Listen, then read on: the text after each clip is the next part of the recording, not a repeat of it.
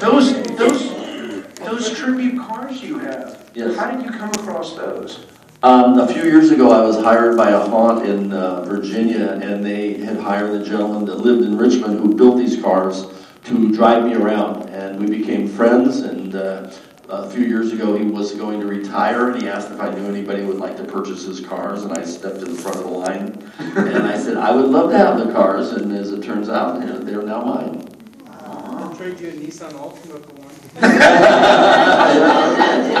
What kind of mileage, right? Yeah, One of my favorite things to do that is, we do drag strip recreations of the Hot Rod Herman episode, that's my favorite destination. Well, I had to tell my car story. Yes. My car story. Oh, yeah, yeah, yeah, yeah, My tell your, car tell story. your, she's got a great story about a car. Uh, I did a movie with Elvis Presley called Easy Come, Easy Go. And uh, we were, you know, not in the scene, and we were sitting in the direct, you know, our director's chairs and just chatting, and um, with Elvis. And I told him I was, you know, looking to buy a car, and just of course things. And he said, "Well, what are you looking for?" And I said, "Well, I've been looking at a Pontiac Grand Prix." And he said, "Oh, well, I have a car that I'll sell you." And I said, "Oh, well, Elvis, I couldn't afford any of your cars." And I said, "But uh, what kind of car is it?" And he said, "It's a 1965 Cadillac convertible." and leather interior, black top. And I said, oh, that sounds really nice. Uh, how much do you want for it? And he said, how about $3,000? And I said, sold. now, fast forward. I drove it for a couple of years. And then I traded it in for a Pontiac Grand Prix. Not as Elvis's car, the keychain even said EP. I never said anything about it being Elvis's car. I traded it in for the Pontiac. That was the first retirement fund I threw away. I can't believe she gave the keychain with the car. Oh yeah, the keychain were good. And how about Lucy's shoes? Oh, Lucille Ball's shoes, right? Well, um, the very good friend, I had done a couple of Lucy shows and I knew Lucy, uh, Lucy Hill. And my friend was her voice coach.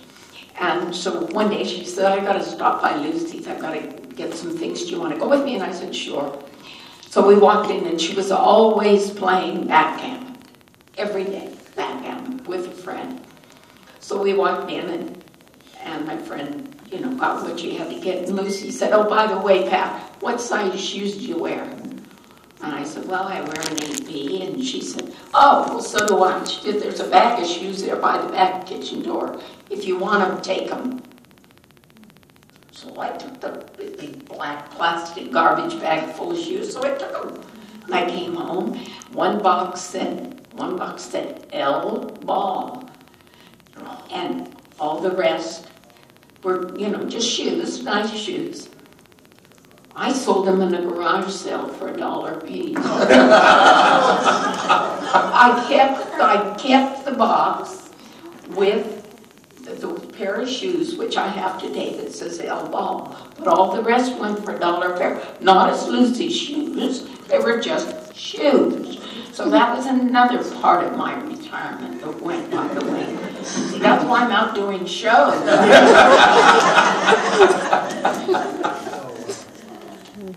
Now, this is your last Q and A, Craig. Oh, yes. Let's, let's hear. Any question? This is the last chance. Next, next time you'll have to go to, you'll have to go to Idaho. Her farewell tour. I go to the market every other day, so you can see me there. She's- She's not like Cher, when she says she's retiring, she means it. Okay, I have a question. So how did you get to work with Elvis Presley? and How that about? Well, um, at the time, I was, I had just finished The Munsters, and Hal Wallis uh, was the producer on, um, Easy, the show I did was Easy Come, Easy Go, Story of My Life. And uh, he called, they, they got in touch with my agent and set up an interview, for me to interview with Mr. Wallace. And I did, and called my agent, said I had the job. I mean, it was just that, that, for me, it was quite easy. But But you- I you- just come off the monster, Munster. It was a stretch So- for her though, because she played a bad girl. Oh, yes. You know, invariably in monster movies, the bad girl is usually a brunette and the good girl is a blonde. So in this movie, they decided for the bad girl to be a blonde and a good girl to be a brunette. And everyone asked me, oh, did you get to kiss him?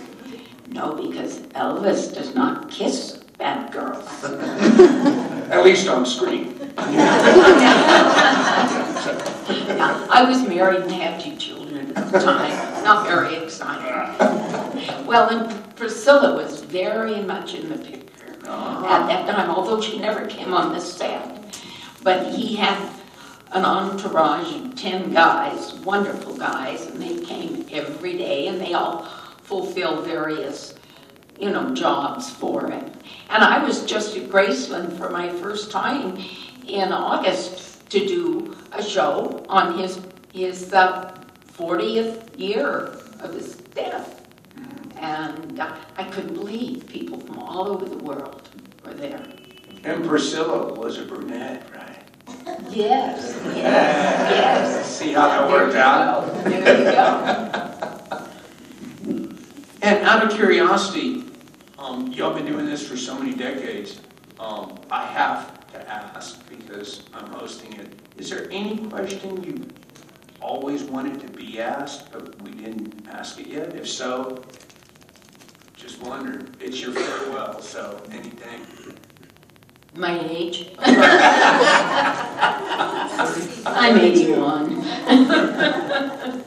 I'll tell it now. I'm proud to have gotten there. Yeah, you wear it well. You wear it well. Butch ain't gonna tell No, I'm good. I'm six- sixty-four. She looks good for eighty-one. Man, and yet, eh, just And look at this doing crowd. You good got young for 81. people, you got older folks. Doing I mean- good for eighty-one. Uh, the Munsters has got a huge, it's just got a great fan base. I just recently got married. and We started up an official Munsters fan group with my wife Leela, and she, and everybody come by the table and get a card and join the group. But she works it, she keeps it family friendly, she keeps it spam free. But it's grown from a thousand people when I met her to over, we'll have fourteen thousand people by the end of the month. Wow. And it's uh, she calls it her Munster daycare. she, she, she takes care of it. She takes care of it as if it's her family, and she does a wonderful job. But literally, one of the neat things about it is, for me, I was always active and busy, but now that I've got my wife involved in it, it's become really um, of more of a family affair now. It really is. Oh, and, and his wife takes care of me too. I mean, if I'm just sitting there and I sneeze, she hands me a bag of sneeze. Uh, it's, I- it's, it's an interesting dynamic. It's been really good for She me. does everything for me. She's wonderful. And the, and the Munster fan base is a global thing. Like you said, Turkey, it was all, all over the world. And it's, it's interesting that people that are in hot rods, they seem to love it because they, they were inspired by the George Barris cars. People that like horror and monster movies, well, obviously the Universal. In fact, the Universal, the, the success of the show is interesting because you had the producers of Leave It to Beaver, which is a very family-oriented show in the 50s and early 60s, a huge success. They were looking for a vehicle, and they were at Universal Studios, which was the Monster Studio, and they figured out a way to take the best of these two worlds of a family-friendly show with the Universal Monster talent and the set designs and all the lighting and techniques, and put it together that on paper you would think it wouldn't work with New York actors and a movie star, and all this put into this big mixing pot, and they came up with this incredible two-year series that was just magic. And, it, and I think that's one of the reasons why it worked so well, is it was just so unusual, so unique, so one of a kind, and yet it's still around. So on that level, it's it's a pretty magical situation. All and I'm proud to be part of it. And the timing again, the 60s, Yeah. you know, like you were talking about. It was it was just one of those one of a kind things. Man, and here we are, from Turkey to Texas. Yeah, Go figure. yeah. Go I like Texas. I almost bought a home in Fredericksburg. Really? What stopped you? Oh, What happened to me? Yeah, what stopped you from buying that house in Fredericksburg? Well, my children are all, well, I, actually, my children are in California. I moved away from them. I guess I guess I could have come to Texas, but I figured that was even further. But I really loved it. I, I traveled in New Braunfels and Gruene and Boerne and, and uh, Fredericksburg and uh, I just, I, you know, But Idaho had the potatoes or what? How come we didn't get the gig? Did Idaho have the potatoes? How come Texas didn't get the gig?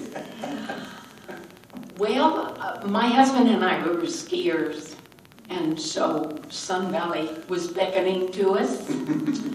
And so we moved there because to ski. And of course, no longer, we look at the slope and that's about it. Well, now you can move to Texas. Now we can move to Texas, that's right. We don't get snow here. We don't get snow, we get pretty good weather. Yeah. We love you. Oh, thank you. Well, I love Texas too. Oh, there you go. I do. There you go. The roadkill barbecue we're known for. Oh, I got, let me tell you, I've got a man tomorrow delivering me some barbecued ribs. Really? Yes, absolutely. Better ask for some ID and find out where those ribs came from, lady. I'm just Oh, I saying. thought it's, I think Hog Street or something like that. Um, he caters ribs and things and asked me, did I like them? And I said, well, I'm both Catholic. Uh, And, and so he said, I'm gonna bring you some tomorrow. I'm not sharing. Not with anyone. I don't share ribs and lobster. Man, any other questions? Yes. Um, I just wanted to tell you guys how much I enjoyed your show, and um, my dad was in the Air Force, and so we traveled all over the world, and there were places where we didn't have American TV, but somehow the Munsters always made it where we were at, you know, through Armed Forces Network. So, um, I just want to say thank you. Oh, that's great. You know, I traveled, speaking of that, all over the world. My husband and I had gone to Italy, and we had walked into a hotel in Italy, and were waiting to check in, and in the lobby of the hotel, they had a television set, and the Munsters was on. Now, we were dubbed in Italian, and my husband said, "Oh my word, look, look what's on the." And I said, You say one word. I said, "I'm out of here," and he didn't. But it was funny, so I do know what you mean. There you go. They know something, yeah. Y'all ever keep any props from the show? Did you keep any props from the show? No, Butch has some props. Well, I, I had. I have nothing. I didn't acquire them from the show, I acquired them after the fact, and through the years, I've accumulated a few things, yeah. But nothing at the time. Did you keep the little werewolf? I got him. you know. I didn't get him until I- about six years later, when I was doing Ironside. And, uh, I was doing Ironside, and the prop man came up to me, and uh, Eddie Keys was his name, and he had kept him, and he gave him to me, so. And then I wound up with the George Bear Stingray, uh, Von Dutch Stingray bicycle that was never on the show, but they brought it out for me to ride around on the lot. I have that now, and then I have my tribute cars, and next week I'm buying the original door knocker from the front door of the, oh, of the house. Sweet. If you come by my table, you will see I have a picture of me, a a photo shoot that I did for George Barris with the Munster coach. And I am sitting on the front of the Munster coach in a leopard bathing suit. I have that bathing suit. It fits my right leg. But I have it. There was somebody else, I think, uh, yes, sir. Uh, yes, first of all, I want to say I loved your show. It was part of my ritual when coming home from school. Yes. And, uh, my main question is, uh, a few years back, the, there was this show called Mockingbird Lane that was made. Have y'all ever seen it? And if you did, what did you think of it? I actually went out on the set the last day of that shoot. Kevin Burns again uh, was involved with that. I went out and met, uh, it was Bryan Fuller and Bryan Singer, uh, A-list people, great, great cast. You know, you had a lot of people on, Portia de Rossi and Eddie Izzard and Jerry O'Connell. And I, inter- I actually introduced that show at San Diego Comic Con uh, that year to good response. I mean, everybody liked it. I was actually going to be in the show, uh, had it gotten picked up. So I was kind of bummed that it didn't. I didn't think it was the Munsters remake. It was more of a Munster-inspired show. It wasn't trying to duplicate the Munsters like the Munsters today with John Schuck and Lee Meriwether. I'm surprised it didn't get picked up. But Universal and, and the Munster ownership, they've got a very strange relationship and they really protect the image of that show. But the thing with Mockingbird Lane was everybody, if you didn't know what the Munsters were, you might watch Mockingbird Lane out of curiosity. But if you were a Munsters fan, you immediately knew what it was about. And that's what Kevin Burns told him to call it. He says, call Mockingbird Lane. You'll get all the Munster fans to watch it, but you won't be going to the well again of making the Munsters again. But, you know, and now Seth Meyers actually is making a, a reboot, moving the Munsters to New York. And I've been speaking with them because I had some ideas why the last one didn't work. And I told him that he would be welcome to use my props and my cars if he'd like to. So we have a meeting with them uh, probably within a couple of weeks about possibly in getting involved with his version of the Munsters in New York. We'll see where it goes, what happens. And would either of you be willing to do cameos in Seth Meyers' uh, Munsters in the New York? One, one, I'm sorry, one more time. Would you be willing to be on Do cameo. Yeah, Oh, would you uh. You know, uh, that depends on them. I just, that, I would love to be part of the creative process, and I kind of gave them some ideas that where I thought they're gonna require some jobs. I said, you know, Herman could be an Uber driver in my Munster coach. Grandpa could be blood delivery, you know, blood, blood delivery in the, in the Dragula. but I think a fun place for him to work would be owning a movie theater where they're showing old classic monster movies, which they consider to be comedies and everybody else considers them to be scary, and you get that, you know, you get that range from the old school to the modern day school, and you got to have something to do. And they actually seem to like the idea, so with a little bit of luck, maybe something may come of it. You know, I'm just happy that somebody's doing it. I think the New York move might work because Fred and Al were they were from New York. Anybody else? Yes, ma'am. Um, did you guys have a favorite episode that you filmed in the Munsters? Yeah, we the, the Hot Rod Hot Rod Herman was my favorite episode, and, and a Man for Marilyn, Yeah, man, from or, Marilyn. or the Uh, Progressing Emerald. Emerald. Yeah. Anybody else? One more. If they ever made a movie of the Munsters, who would you guys like to play you guys? Great. Play me? Yeah, great Oh. I wouldn't. I don't have a clue on me, but Tom I know Brad Garrett would be great as Herman. And uh, who else did I ever say? Somebody else from Lily. I can't remember who it was. This comes up all the time, but Brad Garrett, by hands down, would be a great Herman. Oh, yes, absolutely. And what about for you, ma'am? I'm just trying to think of who would, young blonde, who, Young blonde. Kristen Bell. Oh, interesting. Interesting. Fans' choice. How about Anna Faris? Oh, there you go. Anna Faris, yeah. Um, Uh, who did they have as Lily? They had someone that said someone that said Lily, and it it was a really good choice. I can't remember. Catherine Zeta-Jones. Yeah, that would work. She would. Ah, there you go. Good choice. Good I'll, choice. I'll have, I'll have, uh, Leela put that out in the fan group and see how many people come up with ideas. Interesting. Okay, that's a good We love it. question. We come up with That was contests and ideas all the time. Interesting question, thank you. Absolutely. Well, let me tell you, being up here with you people is such a privilege. Thank you. Well, And- thank you. um, seeing you guys in the audience, and if y'all could see what I'm seeing right now, you look out in the audience and you've got, you know, Creep Show, Texas Chainsaw Massacre, Maniac, famous monsters of filmland. These people were there before all of that. Yeah. Isn't that awesome, man? Isn't that awesome? Yeah. Y'all are here scary. We weren't scary. But you, you made your, you made your mark. You made your mark. Yes, thank you. Thank y'all. And it's because of people. Thank you very, very, very much. I was, I was just a kid going to work. For farewell tour, ladies and gentlemen.